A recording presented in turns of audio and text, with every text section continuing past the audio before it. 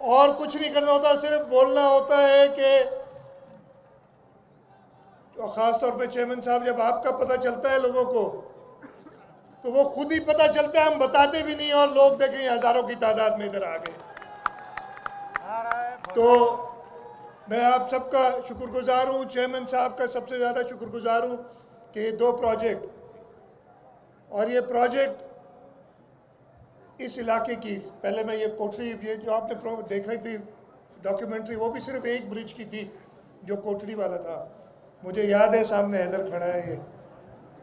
मैं इधर कई कोई एक डेढ़ साल, एक केस के सिलसिले में कोर्ट में आया करता तो सारे वकील मेरे सामने आगे खड़े हो गए। और उन्होंने कहा कि जी, ये ब्रिज की हमें सख्त ज़रूरत है, उस वक्त मैं फाइनेंस का एडवाइज़र था। और ये ब्रिज बनाए।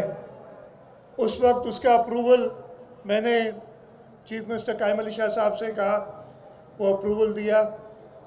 और फिर 2016 के आखिर में इसकी कंस्ट्रक्शन शुरू हुई और जैसे बताया गया कि दो साल के कलील अरसे में ये ब्रिज मुकम्मल हुआ।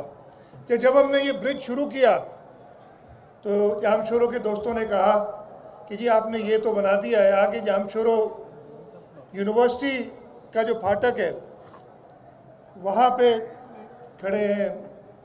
लाला, जो रहते हैं उधर, उन्होंने कहा कि जी, ये तो आपने बना दिया कोटड़ी के लिए, लेकिन आगे जाके ट्रैफ़िक इधर फंस जाएगी। ये तो अधूरा काम है। तो उसके बाद हमने वो पुल शुरू कराया।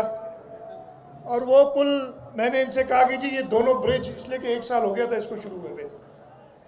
मैंने ये चैलेंज किया सारों को, जो कि जी, ये ब्रिज आपने एक साल में बनाना है। और अल्लाह ताला का शुक्र हुआ, एक साल में नहीं, नौ या दस महीने में वो ब्रिज भी तैयार हो गया। और इन ताला